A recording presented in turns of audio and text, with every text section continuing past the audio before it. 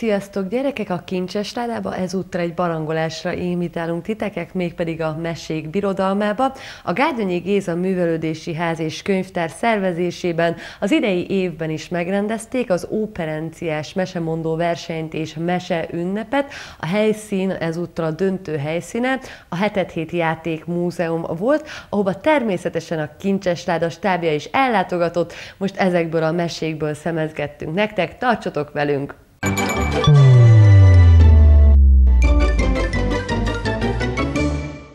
A három kívánság.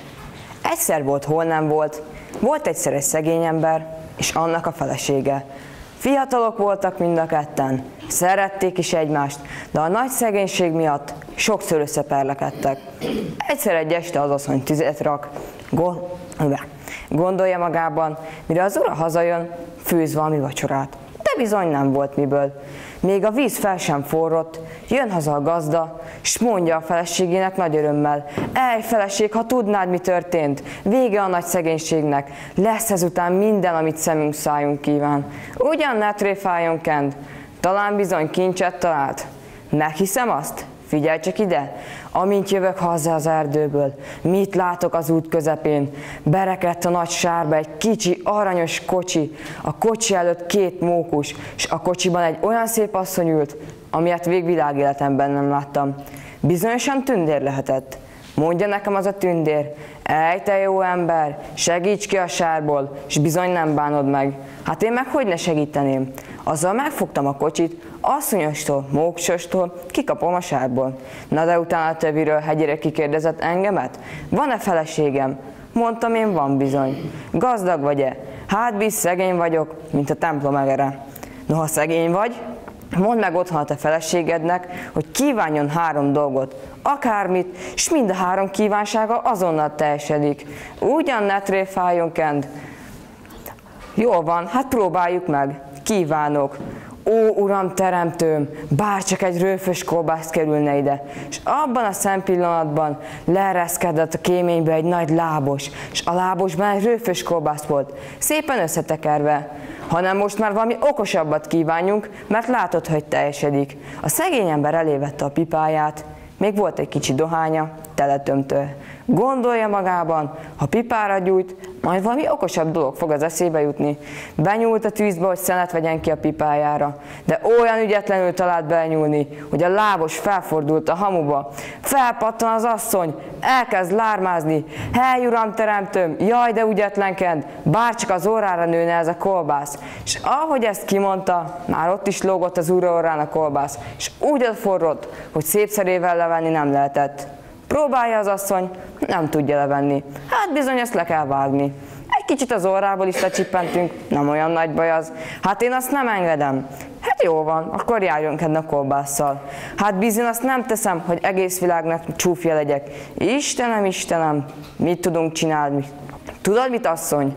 Kívánd azt, hogy a kolbász esik le az orromról. Mit volt mit tenni? Végül mégiscsak azt kívánták, hogy az ura orráról esik le a kolbász. Miután leesett, a hamut szépen lemosták róla, és úgy megették együttükben, hogy egy falat sem maradt belőle. Evés közben szépen megbékültek, és a nagy szegénység miatt többet nem veszekedtek, hanem dolgoztak sokat. Lett aztán ökör is, ló is, föld is, lett szép ház is, és talán még máig is élnek, ha meg nem haltak.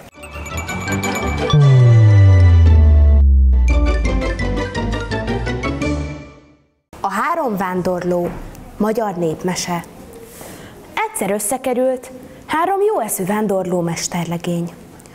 Volt azoknak mindenük a széles világon, csak pénzük nem.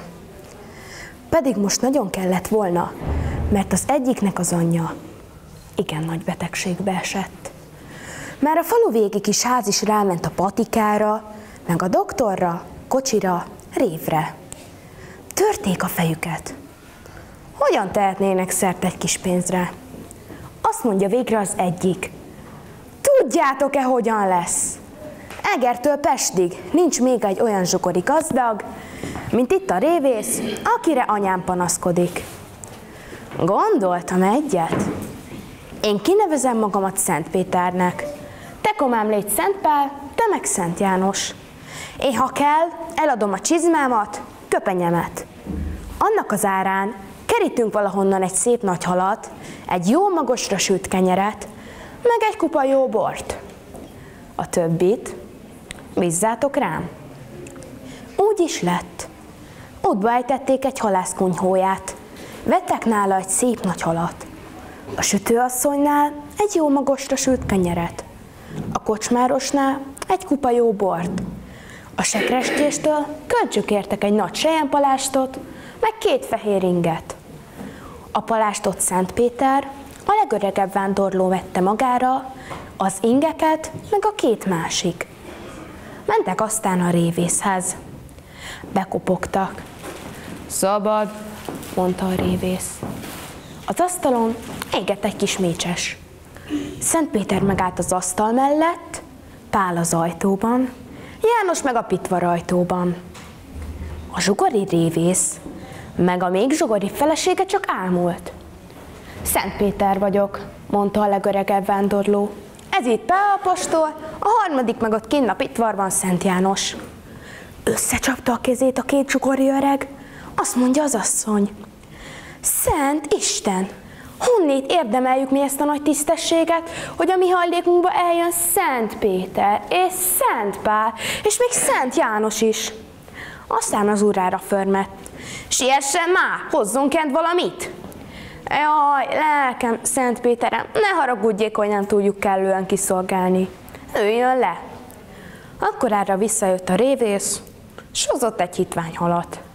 Azt mondja, miközben odaleki a feleségének. Süsd meg! Inkább főzöm, mondja az, mert úgy nem fogy a zsír.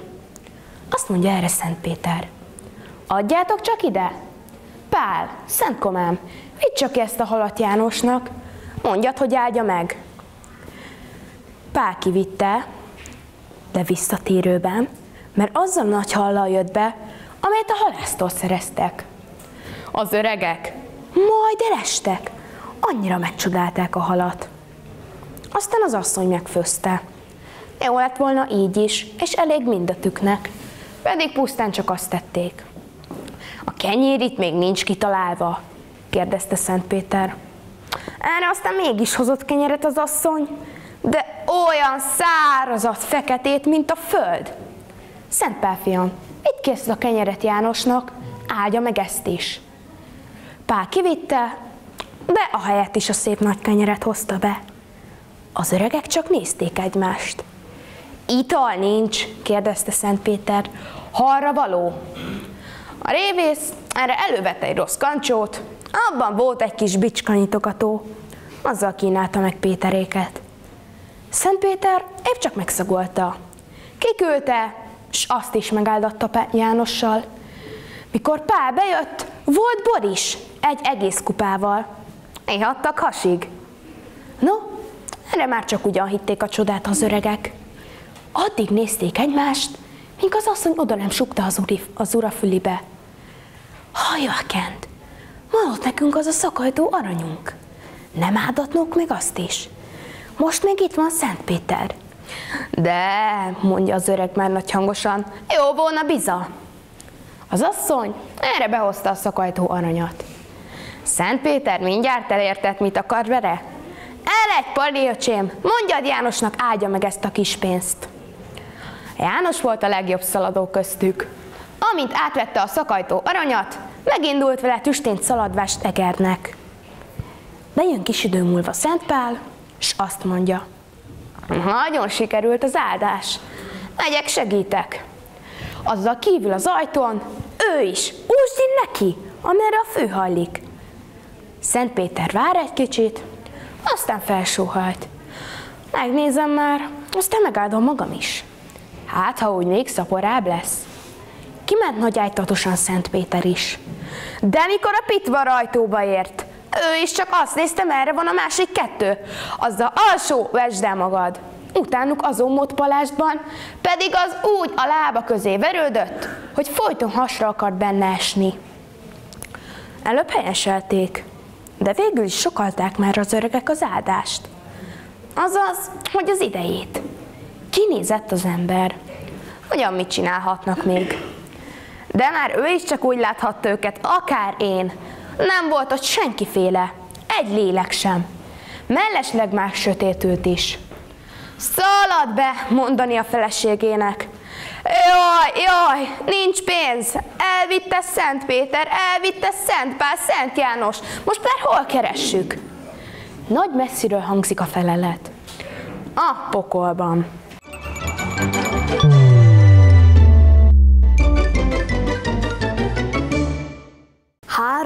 Legény állított be egyszer Mátyás királyhoz, a budai várba. Az egyiknek az óra volt vastag, a másiknak a füle, a harmadiknak meg a nyaka. Jeromos Deák vagyok Prágából. Esett térdre a vastag orrú. Vládó Deák vagyok Krakóból. Görbült két rét, a vastag fülű. Zsombor Deák vagyok Debrecenből. Hajolt meg tisztességtudóan a vastag nyakú. Hát aztán mi áradban volnátok? Nézett végig rajtuk a király. A deákok azt mondták, hogy szolgálatot keresnek, szeretnének beszegődni író deáknak. Ja, deák urak, mosolyodott el a király. Azt meg is kell ám érdemelni, akit én befogadok író deákomnak, annak okosabbnak kell lenni, mint én vagyok. No, én az vagyok, vágott előre, a lány, Jeromos Deák. Szeretném én azt látni, amit én nem tudnék, hágott a sarkába a lengyel.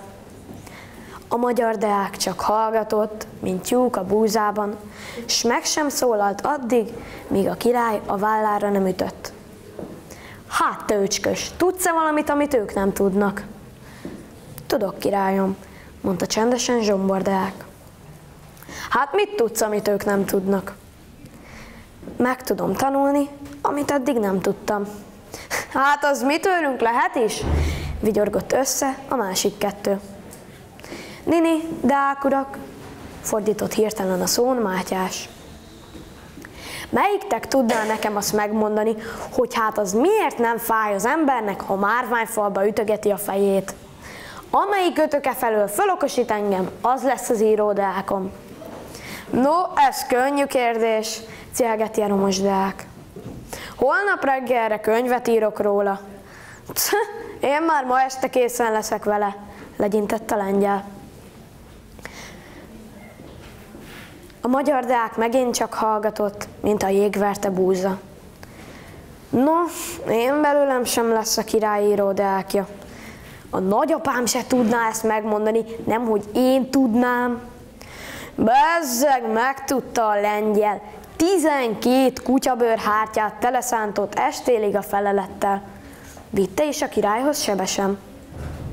No, uram királyom, ez majd fölokosít. Megtudott belőle, hogy a márványba olaj van belekövesedve, azért nem törik be rajta az ember feje. Én elhiszem, fiam, mondta a király, de várjuk ki a másik két okosat is. Reggelre Jeromos Deák is beállított a felelettel. Ez az igaz, amit én írtam, bizonykodott erősen. Az emberi ész az, ami meglágyítja a márványt. Igaz lehet, bólintott a király, de várjuk ki a harmadik cimborátokat is. No, azt várhatták még harmadnap is, se híre, se hamba nem volt.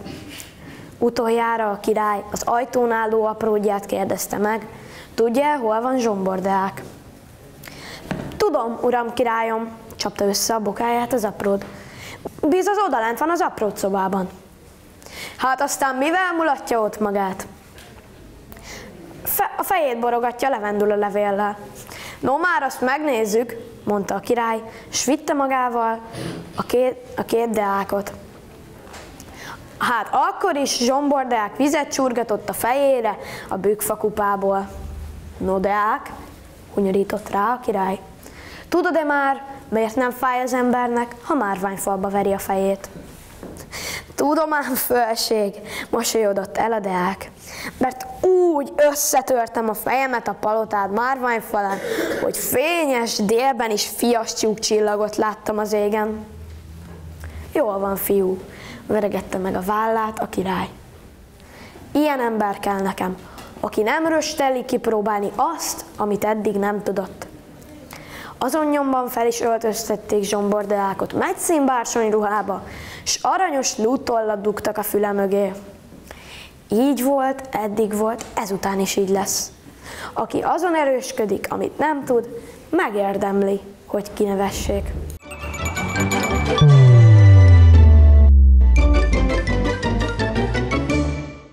Kedves gyerekek, ez volt már a Kincses Láda, természetesen holnap is lesz utazás, invitálunk titeket ismét az Óperenciás Meseünnep Birodalmába. Tartsatok velünk akkor is, sziasztok!